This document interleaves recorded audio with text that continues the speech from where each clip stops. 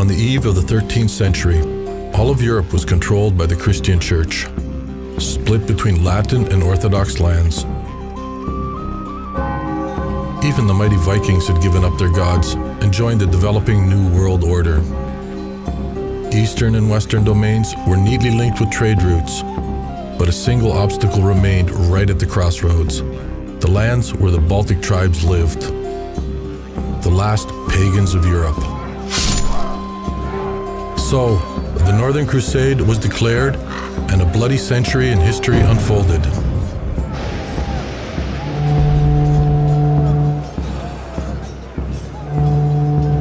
But today, the question remains who were these mysterious people? How did they live and die? In what did they believe? What made them strong? And how did they disappear?